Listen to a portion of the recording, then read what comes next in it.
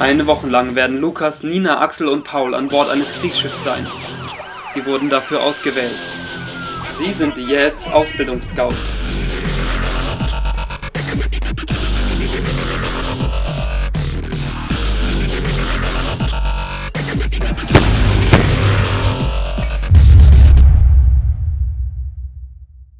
Heute die Helikopterlandung war am besten. Es war einfach cool zu sehen, wie dieser Helikopter auf dem fahrenden Schiff der Fregatte landet. Er muss also bei der Halbmeile das Schiff sehen, sonst muss er abdrehen. Ein jüngerer Pilot hat vielleicht eine Meile. Je besser die werden, desto dichter dürfen die ran.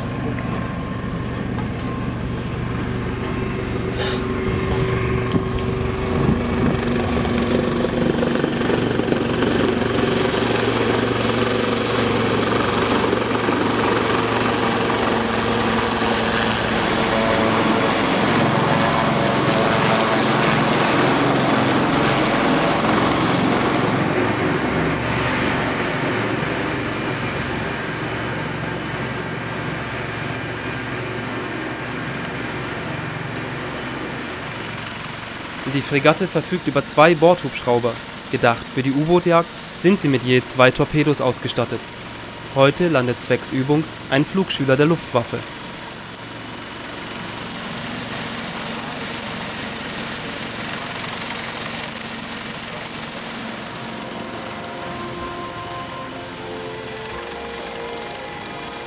Sah aus wie aus so einem Film irgendwie, habe ich das Gefühl gehabt, ne? dass sie gleichzeitig loslaufen, alles dort richtig schön festmachen und auf Zeichen wieder gleichzeitig zurückkommen. Das war wie einem Film. Das fand ich total, also das hat mich total interessiert, fand ich total spannend, wie das abgelaufen ist.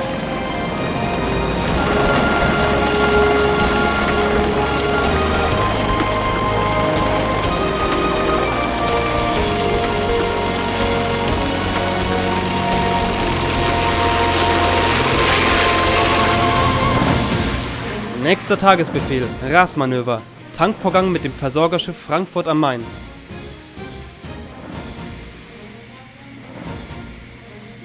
Für die Seeversorgung gleicht die Fregatte Kurs und Geschwindigkeit dem Versorger an.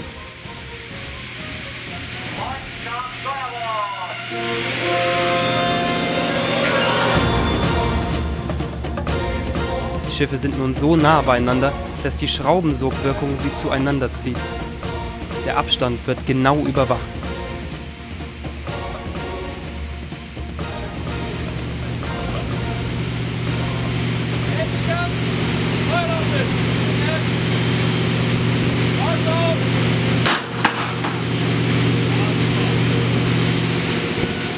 Ein Seil wird von Bord aufs Deck der Frankfurt geschossen. An diesem Seil kann nun ein Stahlseil entlang geführt werden und an dem Stahlseil dann ein sehr dickes Stahltau.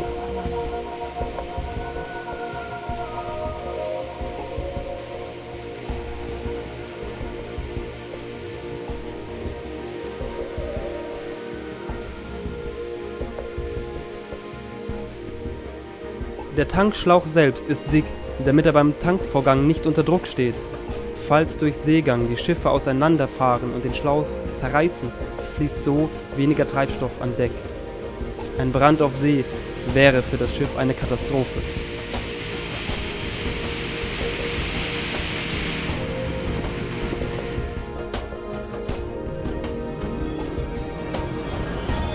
Warschauer Typhon.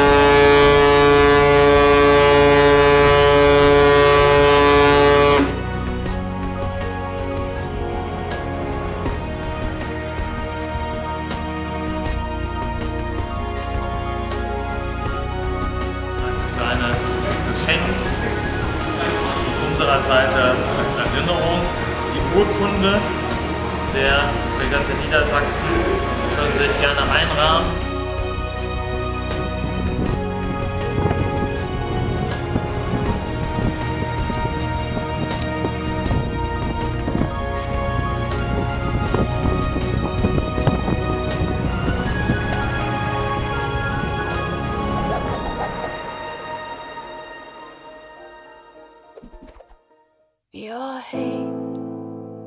Moves like a freight train, steady